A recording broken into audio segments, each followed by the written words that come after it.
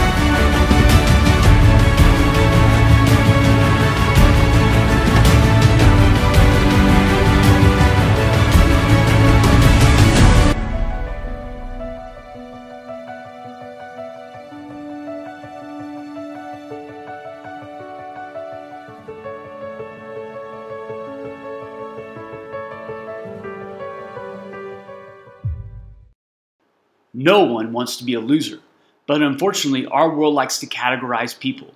Usually, those that don't have it as good as the rest of us. But God always has seen us very differently, and through Christ, uh, this is possible. And today we're looking at a story in the book of Mark uh, about a man that the world considered a loser. In Mark 10:46, the Bible says this: Then they came to Jericho. And as he was leaving Jericho with his disciples and a large crowd, a blind beggar named Bartimaeus, the son of Timaeus, was sitting by the road. When we meet Jesus, he's leaving Jericho and he is on his way to face the cross, a horrific but necessary sacrifice that would pay for the sins of the world. And as he's heading out of town, we find a beggar, and not just any beggar, a blind beggar, Bartimaeus. Now, not much is known about Bartimaeus. His name is Aramaic, and it literally means the son of the honorable one. So, how could he have fallen so far? Well, we really don't know. He could have been born with this blindness. He could have gotten a disease that caused him to go blind. That was very common during those times. He even could have been plagued uh, for some un- unknown sin. In any case, we just don't know. Uh, but what we do know as we look at him, he is an outsider. He is a loser. He had no one to take care of him, so he sat on the side of the road waiting for someone to help him each day. How many of us have felt like that? We may not be blind, but we feel just like that outsider. No real hope in sight. No one really cares. No one takes the time to show compassion. It's a miserable life, and we can feel like real losers. Isaiah 56 7 says this These I will bring to my holy mountain and make them joyful in my house of prayer. Their burnt offerings and their sacrifices will be accepted on my altar, for my house shall be called a house of prayer for all peoples. At this time in Israel's history, they were outcast, but yet God made a promise, uh, not just to them, but for all peoples. A prophetic promise that God would take care of the outcast, the loser. So, what do losers do? I guess that's the question. One, we cry for help.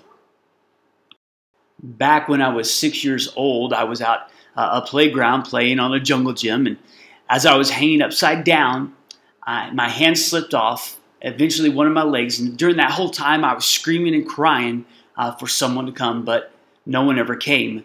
And I fell. And by the time help came, it was too late. I was badly injured. My femur had snapped. Uh, I say all this because many times we cry out and we think that no one cares, especially when things don't turn out like we think they should. Bartimaeus had no idea what would happen when he cried. Would, would there be any help? In Mark 10:47, the Bible says this: When he heard that it was Jesus of Nazareth, he began to cry out and say, "Jesus, son of David, have mercy on me." I think the tragedy we find and why so many times we remain as losers is because we think that Jesus will be like those that are around us. They don't come quickly, they take their time, they just don't seem to care. And since uh, we face this every day, we find ourselves thinking that God is the same. But we shouldn't put the attributes of those that let us down upon our Lord. Uh, he is very different. 1 Peter 5 7 says this casting all your care upon him, for he cares for you all those that are heavy burdened, it's time to come to Jesus. Cry out to him for mercy. Bartimaeus had nothing. And in the same way, all of us are needing what Bartimaeus needed. We need the mercy of God. Now, not all of us have it as bad as he did, uh, but God does care the same when we cry out to him. If you have blown it with your family, you can cry out to him. If you've gotten yourself in trouble, you can cry out to Him. If you're lying in a hospital, uh, you can cry out to Him. In your suffering, you can cry out to Him, and He will hear your plea for mercy. But you have to cry out to the Lord. And this brings me to my second thought is that we want change. We want things to be different. I like this quote by Michael Jordan. Uh, some people want it to happen, some wish it would happen, others make it happen. You know, I've seen a lot of sports movies, uh, and a team could want to be different. They could want to play better, but in the end, they have to see that things just ain't going, aren't going right, and, and they got to make the changes necessary to succeed. Bartimaeus wanted things to change. He was determined.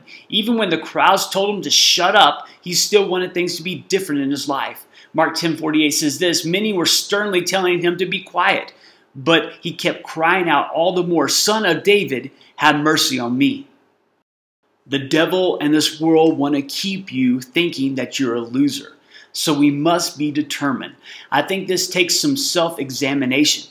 Uh, are we just going to let our world pass us by while we sit on the side of the road, or are we going to get up and seek the Lord? Are we going to cry out for His help? I guess you have to, you have noticed it uh, life is not going the way you plan. Maybe uh, you have tried doing things your own way and find yourself stuck on the side of the road. Uh, you're empty inside and there seems to be no hope, but God hears our cries. Psalm 6 9 says this The Lord has heard my cry for help, the Lord will answer my prayer. I think one of the problems that we have is that we struggle with our own pride. We are the ones telling ourselves, shut up. And the reason we stay losers for so long is that we don't want to ask for help. We don't want God to control our lives. I got to say, look at your life. Look how it has turned out. Even if you got all the things that you ever wanted, uh, you still find that without Christ, uh, your life is empty. Don't live a life of running in circles and accomplishing nothing. Stop spinning your wheels. Time to do something different. Time to trust the Lord. Call out to Him like Bartimaeus. And this brings me to my third thought. We need the faith to follow. Uh, there's a TV show uh, called George Lopez, and uh, it's pretty funny because the guy he always thinks that he has everything under control. And when his wife asks him something, or one of his friends asks him to do something, he's like, "I got this." Uh, but in reality, he doesn't. Uh, Mark 10, uh, 49 to 52 says this, and Jesus stopped and said, "Call him here." So they called the blind man, saying to him, Take courage, stand up, he is calling you. Throwing aside his cloak, he jumped up and came to Jesus. And answering him, Jesus said, What do you want me to do for you? And the blind man said to him, Rabboni, I want to regain my sight. And Jesus said to him, Go, your faith has made you well. Immediately he regained his sight and began following him on the road. Now, these few verses, we could easily make a whole other lesson. But let's look at a few things really, really quick. One, he jumped. I still remember the first time that uh, I preached uh, I was a little bit nervous, and when the pastor called me up, I ran up to the platform. I was excited to do whatever Jesus wanted me to do. And that's exactly the kind of faith that Bartimaeus had. In 2 Peter chapter 2 verse 10 the Bible says this, "So dear brothers and sisters, work hard to prove that you are really among those God has called and chosen." As a believer, we need to be excited about doing the work of God. When Jesus says jump, we jump. And another thought that I had is that he revered. And I think we need to be reminded that our God is the creator of the universe, the one who holds the whole world and our very lives in his hand. When Bartimaeus speaks to the Lord, he uses a very unique term, a very formal term. Now, some translations just have it as rabbi or teacher, but here this term rabboni is used uh, when talking in prayers. Bartimaeus already recognized that Jesus was the Messiah, for he called him the Son of David. I believe he knew whom he was speaking to. Uh, loser doesn't realize uh, the one that he's following, or maybe he has just forgotten. I think a lot of times we find ourselves in Loserville when we don't remember that we serve the King of Kings. We have lost respect for our Lord. Revelation chapter 4 verse 11 says this, Worthy are you, our Lord and our God, to receive glory and honor and power, for you created all things, and because of your will they existed and were created.